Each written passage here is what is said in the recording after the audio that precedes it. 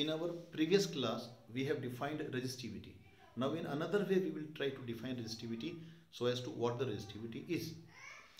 Now R could be written as rho L upon A and now if this length of the conductor is made as 1 meter and area is 1 meter square then R becomes R is equal to rho 1 meter upon 1 meter square.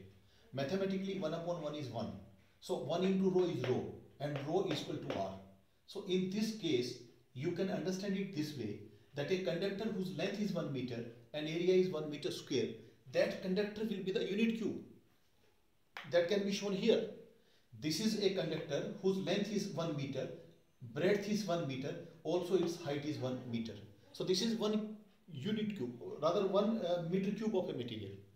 Now if we are able to measure the resistance that is present between the opposite faces of the unit cube of this material that resistance in ohms will be numerically equal to the resistivity in ohm meters.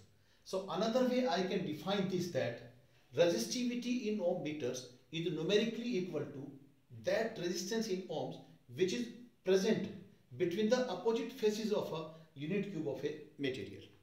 This is a material and uh, we have its conductor the length of the conductor is 1 meter breadth is 1 meter and also its height is 1 meter so a conductor whose length, breadth and height, all the three dimensions are 1 meter, 1 meter, 1 meter each. That will be unit cube of the material.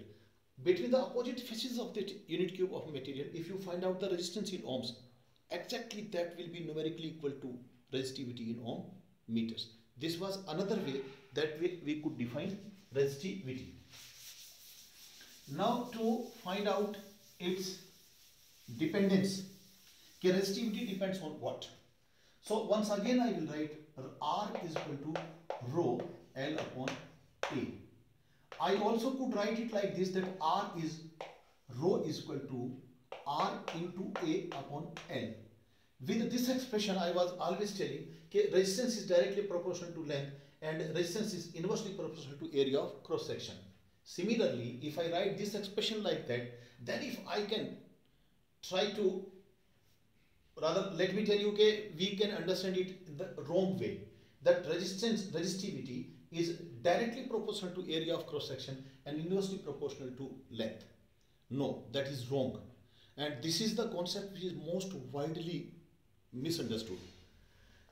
This resistivity is numerically equal to resistance only when the area is 1 meter square and length is 1 meter.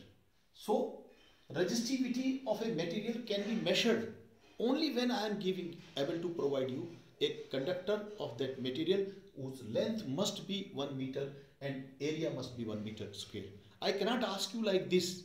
Okay, I have 2 meter long conductor and half meter in area. Half meter square is the area. Find out its resistivity. That we cannot. To find out the resistivity of a material, we need to have uh, 1 meter long 1 meter broad and 1 meter high. That is unit cube of a material. So we need to say and this is most widely misunderstood as I have already told you.